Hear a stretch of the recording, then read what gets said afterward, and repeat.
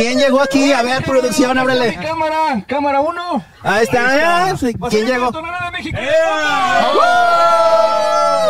Muchas gracias por la invitación. Aquí a Iconoscopio Producciones, al platón de Don Furcio. Encantados de colaborar el día de hoy. Bienvenido, don Tastuán. ¿Y cómo le ha ido? A ver, platíquenos. ¿Qué es lo que anda haciendo estos días? Estamos en estas fechas promocionando, por cierto, este juguete que es el Funko del Tastuán Coyote. Y pues bueno, ha tenido un gran recibimiento con los niños, con los jovencitos.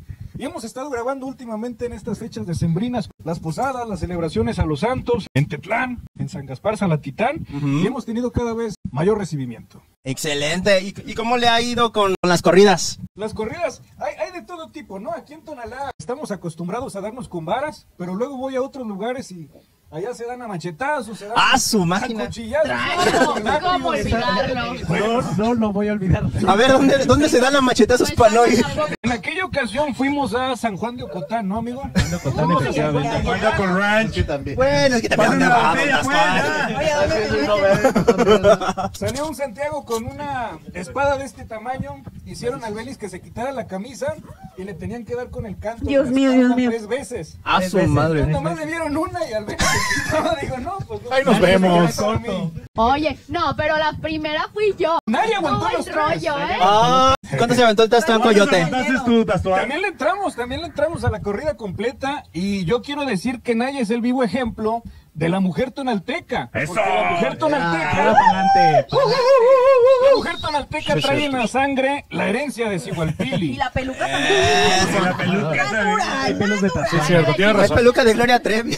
Las mujeres tonaltecas son sabias por naturaleza, entronas, inteligentes y también le topan, le topan a lo que se venga.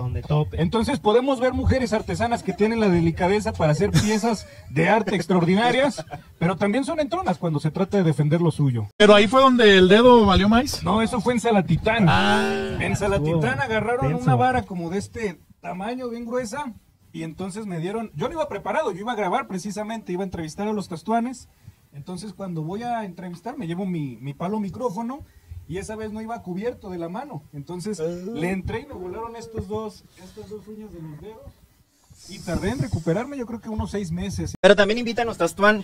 Hay clases para hacer este tipo de máscaras. Desde luego que sí, aquí en Finca Escuela de Arte y Emprendimiento hemos llevado a cabo alrededor de cuatro talleres de máscaras, cuatro talleres de máscaras principalmente. Pégate el micro. O al inicio iba enfocado en adultos y adolescentes y bueno, de un tiempo para acá los niños son quienes piden más estos talleres y el próximo año eh, estén atentos a las páginas oficiales del Tastuán Coyote porque vamos a iniciar con el quinto taller de elaboración de máscaras de Tastuán solo aquí en Finca Escuela de Arte y Emprendimiento. Ahí está, con todo el comercial. No, Perfecto. no, no, viene Muchísimas bien fino ¿eh? para los comerciales.